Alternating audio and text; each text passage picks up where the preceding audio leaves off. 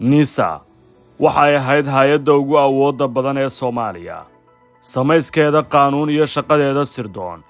Shakhsiyaadka soo maamula iyo kiisaska ay gacanta ku qabatay ayaa ka dhigay hay'ad ka macno duwan kuwa kale ee dowladda. Waxaa jira shaqooyin aan la aqoon bilow ilaa dhammaadkeeda balse dad badan ay ku baraarugeen gunaanad aan sharaxaad badan loo haynin. Nisa waxay ubucu tahay qaabdhismeedka dowladdii farmaajo agaasimihii hore ee niise oo waraysi dhif iyo naadira aan ka qaadnay dhowaanna. Waxa uu bayaamiyey sida ay hay'addan u ahayd mid qarsoon oo aan wax badan laga aqoon. Kiisas badan oo xasaasiya ayaa niise lagu tuhunsan yahay inay geysatay. Kuwo kalena qaabka ay u maaraysay ayaa su'aalo laga qabaa. Nuucyada dhacdooyinka cidda loo tiirinayo iyo sababaha keenay in jawaab saxa loo waayo falalkaas kama hadlayno kamana faalloonayno maanta balse waxaan geesta kale ka istaagaynaa. Waxaa hadda ka socda gudaha niisa. Kow isbeddel maamul. Labadii isbuuc ee tegey niise waxaa ka socday isbeddel maamul oo gaarsiisan hubinta shaqaalaha. Mushaardhimid lagu sameeya dhammaan shaqaalaha hay'adda ka howlgala iyo xubno firfircoonaa oo shaqada laga cayriyey iyadoo aan sabab faahfaahsan loo haynin. Xubno cusubna waa la soo kordhiyey kuwaas oo aan horay hay'adda uga tirsanayn haddase dhankooda lagu soo biiriyey furista laamo cusub. Dhammaan hab magacaabista iyo isbeddellada maamul waa kuwo ku imaanaya rabitaanka agaasimaha cusub. Ma jirto hab sharciyeed laysla ogyahay oo loo mara magacaabista hay'addan maadaama ay shakhsiyaad kala duwan duraan hannaanka iyo sharciyadda qaanuuneed ee niisa guud ahaan ay ku dhisan tahay.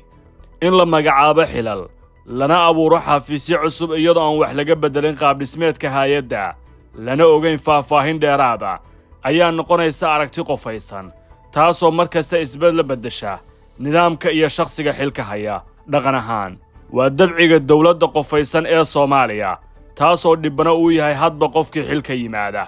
Laba dabagal hay'adda dhexdeeda.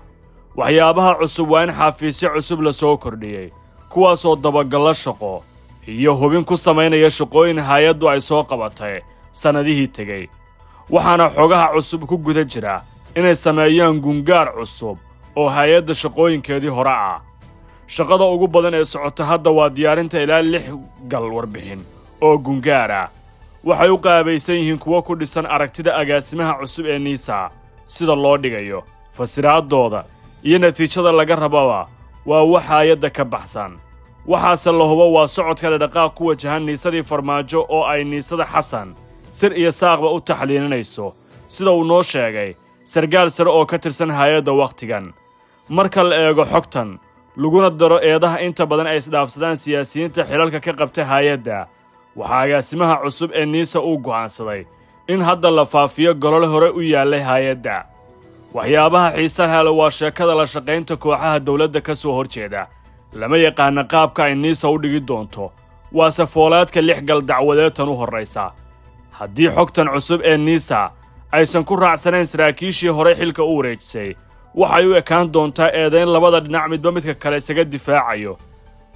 Maragaha iyo caddaymaha ayaa noqon doona kuwo aan kalsooni badan lagu qabi karin maadaama ay fududdahay in xaqiiqooyin kala duwan si dhab aan loo ogaan.